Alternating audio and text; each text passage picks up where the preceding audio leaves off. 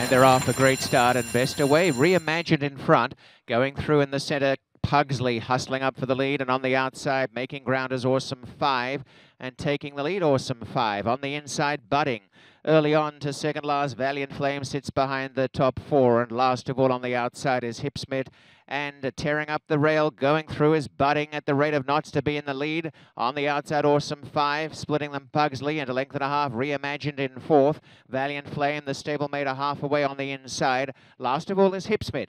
Inside the three eights, they run and back in the lead on the outside. Awesome Five took over from Budding, a length away Pugsley. Valiant Flame and reimagined absolutely match strides behind them.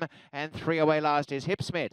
Awesome five, Budding, they toil in front. Third, Pugsley, reimagined, winds up the outside. Valiant Flame, the centre. And last, Hipsmith, they come down the lane. And now coming with a run, reimagined and Valiant Flame seeing daylight. Reimagined got first bite. Valiant Flame coming through a little bit, but it is reimagined in front to second Valiant Flame.